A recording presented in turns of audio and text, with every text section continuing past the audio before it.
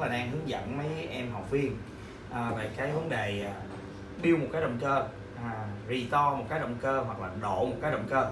Có nghĩa là đang nói là bây giờ tôi có một cái máy Tôi muốn làm nó lại nguyên trạng thái ban đầu Hoặc là tôi có một cái máy tôi muốn à, độ nó lên à, Tôi tăng công suất nó lên Hoặc là tôi đang có một cái máy A Mà tôi muốn gắn đầu lòng của cái máy B qua. À, Đây là máy ẹt gắn đầu lòng Windows. Thì cái điều cơ bản đầu tiên á tôi phải hiểu được là cấu tạo của một cái động cơ nó bao gồm những gì à, và nó là hoạt động như thế nào. Còn nếu mà đơn giản là chỉ là nghề dạy nghề thì ok hư bộ phận này tháo ra thay hư bộ phận kia tháo ra thay nó rất là dễ. Để hiểu được cái vận hành à, thì mình mới làm đúng được mới chính xác được. Thì à, đã có rất là nhiều video clip mà mình nói à, về cái động cơ bốn thì thì ngày hôm nay mình sẽ làm lại một cái video nhỏ này để mình mô tả à, vừa là một cái mô hình một cái động cơ được cắt và một cái là video à, một cái video 3D à, mô phỏng hoạt động của một cái động cơ 4 thì thì à, các bạn có thể search Google nó ghi là for là số 4 đó for stroke là 4 thì. Ok thì à, trước mặt anh em á đây là một cái động cơ Honda Cup 50 phân khối. À, động cơ zin của Honda 50 phân khối. Và động cơ này đã được cắt động cơ này đã được cắt à, những cái chi tiết mà để chúng ta có thể quan sát nhìn thấy bên trong. Thì à, nguyên tắc động cơ đốt trong á, nó có tồn tại hai dạng à, là động cơ hai thì và động cơ bốn thì. Thì cái động cơ hai thì bây giờ là đa phần là người ta đã không cho sản xuất rồi tại vì cái khí thải nó làm ô nhiễm môi trường à, nó không phù hợp tiêu chuẩn cho nên họ không cho sản xuất nữa. Thì đa phần là chỉ còn lại động cơ bốn thì. Thì một cái động cơ bốn thì á nó sẽ được chia làm ba nhóm bộ phận chính. Nhóm thứ nhất là hệ thống nổ sinh công. Nhóm thứ nhất là hệ thống nổ sinh công bao gồm là đầu quy lát lồng xi lanh. Đầu quy lát và lồng xi lanh là nhóm này mình gọi nó là nhóm nổ sinh công. Và cái tạo đà cho bích tông nó di chuyển á cũng như là khi bích tông nó nổ mà nó tạo đà để kéo toàn khối động cơ này hay là vận hành chiếc xe á, thì nó có liên quan một thứ đó là trục khuỷu. Trục khuỷu là cái thứ nằm trong này nè. À, trục khuỷu là nằm ở giữa này nè. À, cái phần này nó sẽ kết nối cái vô lăng và nó kết nối cụm nồi bên này vô lăng bên trái và cụm đầu bên phải ha. Trục khỉu nằm ở giữa. À, trục khỉu thì chúng ta còn hay gọi là tay dên. À, xi lanh còn gọi là hay còn gọi là đầu là cái cái cái lòng đó cái lòng hay cái nòng là xi lanh.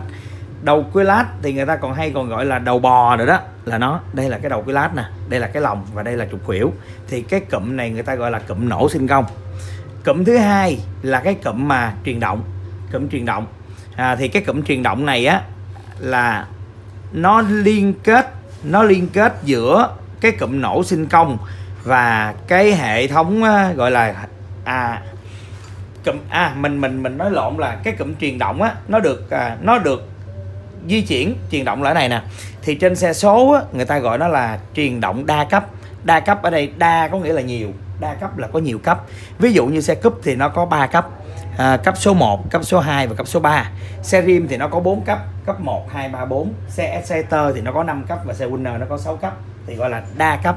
Đa cấp là khi nó có con số hẳn hồi còn truyền động mà bộ số trên xe ga xe ga thì ở cái bánh sau nó có một cái bộ người ta hay gọi bộ số hay bộ láp thì nó gọi là truyền động vô cấp. Vô cấp ở đây là nó không có cấp nào hết. Nó chỉ là một hệ thống nhông truyền thôi nhông truyền để giảm tải thôi.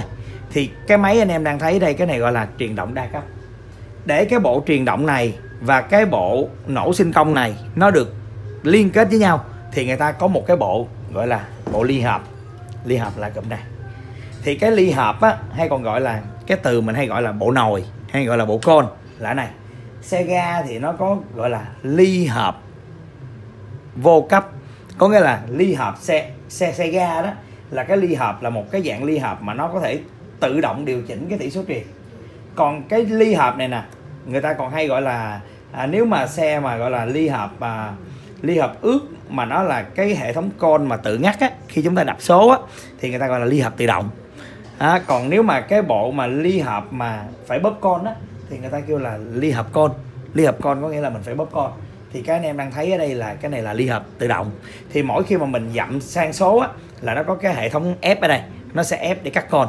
Còn trên xe Amaya con tay á thì khi muốn sang số chúng ta phải bóp con popcorn con thì nó sẽ ép những cái lá ly hợp. À, bây giờ nói sơ thôi hôm nay không phân tích vô từng bộ phận. À, thì à, đây là cái động cơ bốn thì. Mình xin nhắc lại nó có ba cụm. Cụm thứ nhất cụm nổ sinh công. Cụm thứ hai là cụm bộ số truyền động. Và cụm thứ ba là hệ thống ly hợp. Ở trạng thái hợp có nghĩa là nó hợp lại. Nó sẽ kéo truyền động cái máy này qua bộ số. Đó là hợp. Còn ở trạng thái ly ly có nghĩa nó rời ra. Ly có nghĩa là rời ra giờ máy quay nè. Máy máy quay dịnh bộ số lại nè. Ly nè bộ số không quay. Thấy không? Đây là trạng thái ly nè. Khi chúng ta quay máy nè quay máy là giữ cái nhông này lại nè. Ly nè. Ha khi hợp lại thì chúng ta vô số và nó liên kết với nhau nó hợp lại. Khi chúng ta vô số thì lúc đó chúng ta không giữ này được nữa. Máy quay thì cái nhông nó sẽ chạy. Ha, dễ hiểu nôm na là khi mà trên một cái xe khi chúng ta vô số rồi chúng ta đẩy rất là khó. Tại vì khi đẩy cái xe là nó sẽ kéo bít tông nó gị gị gị gị gị dàn hơi. Còn nếu mà chúng ta không có vô số để vị trí n vị trí số n thì chúng ta đẩy nó trơn tru. Còn vô số một cái là nó dính cả cụm với nhau rồi. Có tỷ số truyền rồi, có hệ thống ly hợp nó liên kết lại, nó hợp lại. Thì chúng ta phải đẩy cái bánh là nó phải kéo luôn bít tông này. Mà bít tông này lúc đó nó không có dễ dàng nó quay như vậy đâu. Lúc đó là nó sẽ bị kính hơi đây nè, kính hơi đây nè, chúng ta quay lên cái nó dướng ở đây nè. Thì lúc đó cái xe mình, lúc mà có số cái mình đẩy cái mình nghe nó hự hự hự vậy đó, là nó đang đẩy cái bít tông này bị nén á. Ha đó thì mình hiểu một cái động cơ là vậy. Rồi, động cơ bốn thì là nó có bốn chu kỳ nó mới sinh ra được một công. À, có nghĩa là ở đây nó chia ra rõ rệt là bốn thời kỳ bốn thời điểm. Thời kỳ thứ nhất là hút thời kỳ thứ hai là nén thời kỳ thứ ba là nổ và thời kỳ thứ tư là xả. Ở động cơ bốn thì á để vận hành đủ thì cái vô lăng này nè cái trục khuỷu này nè cái trục dê này nè nó phải quay hai vòng. Thì trục cam này mới quay được một vòng. Ok chưa? Rồi anh em nhìn nè mình đang để cái vòng tròn này ở điểm không, đúng không? Ở điểm không. Nếu như mình quay một vòng một vòng, mình quay đủ một vòng ở điểm không này, thì các bạn sẽ thấy được là cái dấu chấm ở trên này nè, nó chỉ mới tới đây thôi. Nó được nửa vòng thôi. Nhìn nè.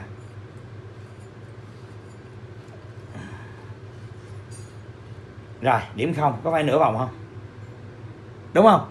Và khi hai vòng hai vòng cái điểm không nó quay trở về vị trí ban đầu đúng không? Cái dấu chấm nè. Đúng không? Vậy thì có phải đây là chứng minh là trục dên quay hai lần thì trục cam mới quay một lần? Cái này hai vòng, cái này mới một vòng. Làm lại ha. À. nửa vòng. Thằng này mới có một phần tư thôi. Đúng không? Đây nè, một phần tư nè. Rồi, nửa vòng tiếp tục. Là một vòng, ở đây một vòng, ở đây mới được nửa vòng. Đúng không? Vòng rưỡi, hai vòng, đúng không? Lá này được một vòng. Có nghĩa là cây dên quay hai vòng tròn, vô lăng quay hai vòng tròn, thì cây cam mới quay được một vòng. Ok chưa? Và tại sao nó như vậy?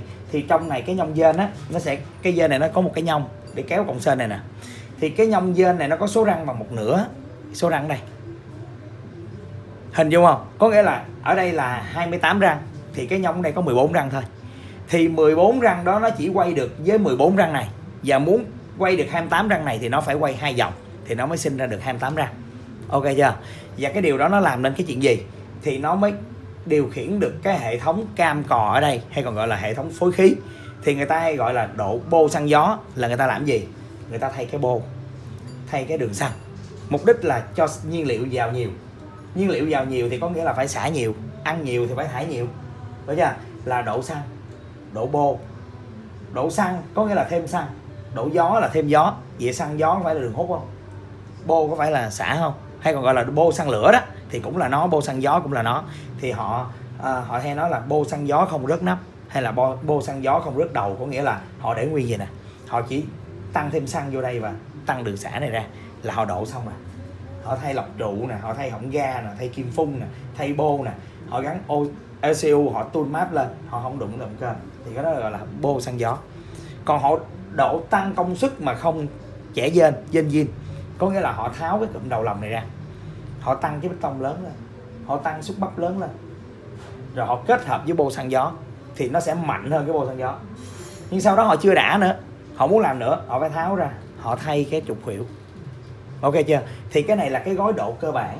Nhưng khi mà cái động cơ này công suất nó đã được tăng rồi, thì cái ly hợp này nó yếu quá, nó không có chạy được họ phải làm cho ly hợp nó bắt mạnh hơn nữa, để nó không bị trượt ly hợp rồi sau đó khi ly hợp tốt rồi, họ, cái động cơ này nó dư công suất rồi, có nghĩa là tỷ số truyền ở đây nó không đủ đáp ứng.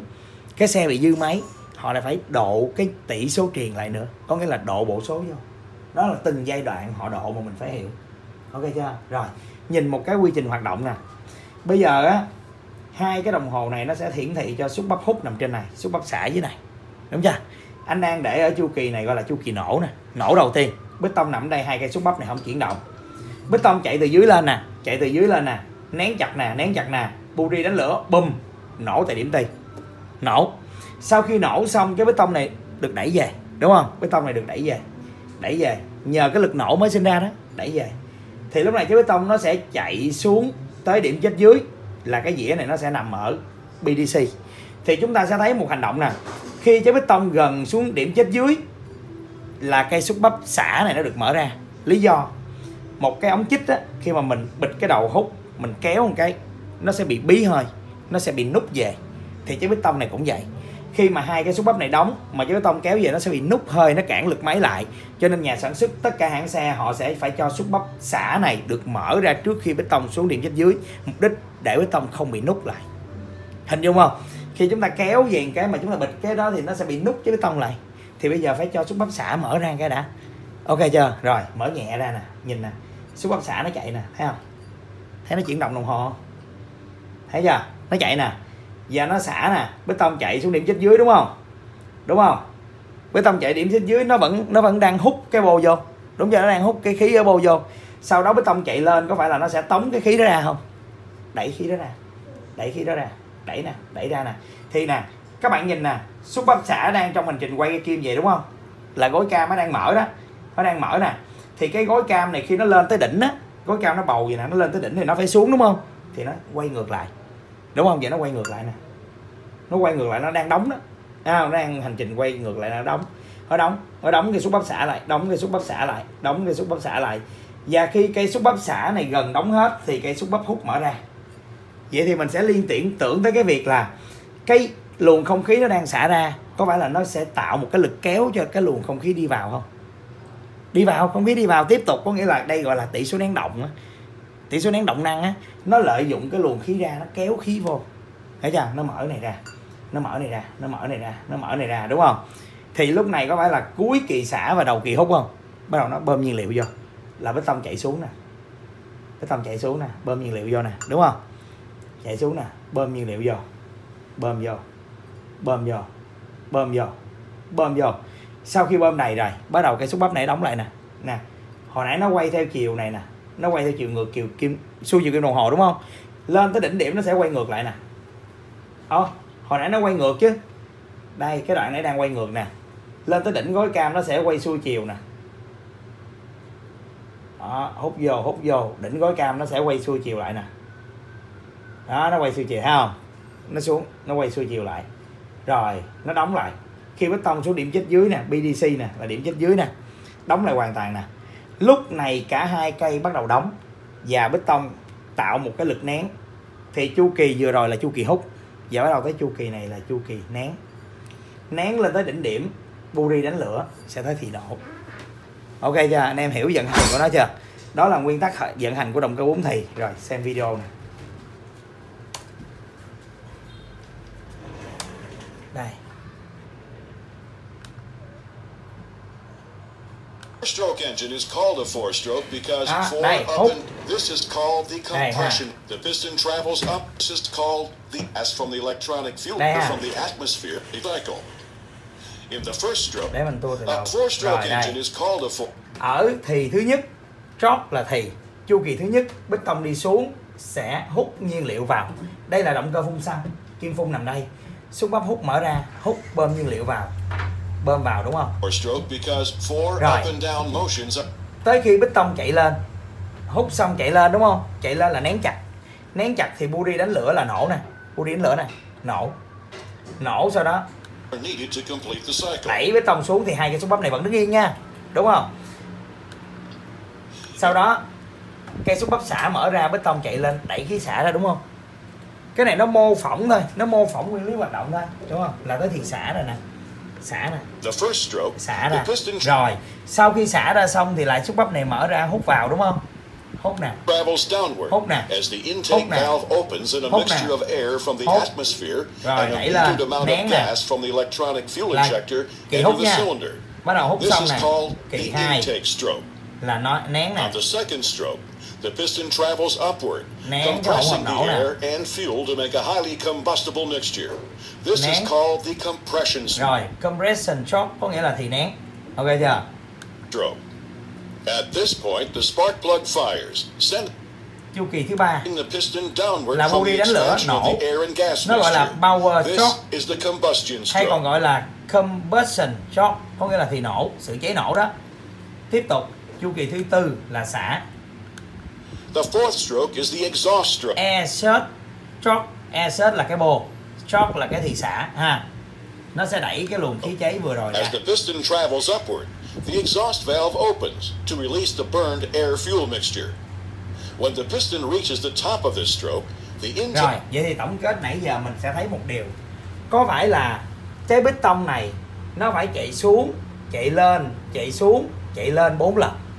Bốn lần cái cây dên này mình sẽ đếm rõ ràng là nó quay hai lần ha và cây cam này rõ ràng nó dẫn động có một lần à một lần hút và xả thôi rồi coi lại ha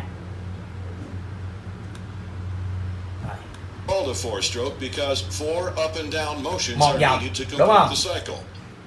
In the first stroke, Hai vòng. the piston Đúng chưa? downward Rồi đếm lại nè. Hút nè, là nửa vòng nè, đúng không? atmosphere and a metered lên. amount of gas from the Đây là một vòng. Nửa vòng rồi đó. This is called the intake stroke. On the second stroke, the piston travels là một upward, vòng. compressing the air and fuel to make a highly combustible mixture. Một This vòng. is called Đúng the chưa? compression stroke. là mới hai chu kỳ à At this Rồi, point, tiếp the tục đi spark xuống. plug fires, sending the piston vòng downward from rưỡi. the expansion of the air and gas mixture. Đúng không? Là bít tông This chạy ba is the lần rồi. combustion stroke. và đi lên cái nữa là mới hai vòng rồi bít tông chạy bốn lần The và cây cam này the xúc bắp này mới hoạt động có As the piston travels upward, Cây hút một cái, xả một cái à, đúng không? opens To release the burned air fuel mixture.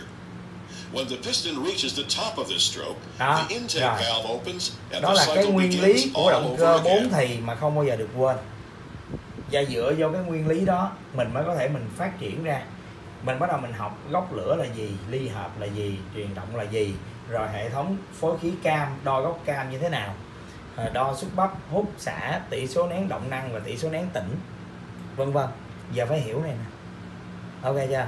Rồi ngày hôm nay em chỉ nói tới đây thôi. Anh em coi video clip này và đây là cái bài mà mình phải nhớ luôn. Phải thuộc luôn nào mình phải hình dung được là cái động cơ nó vận hành sao?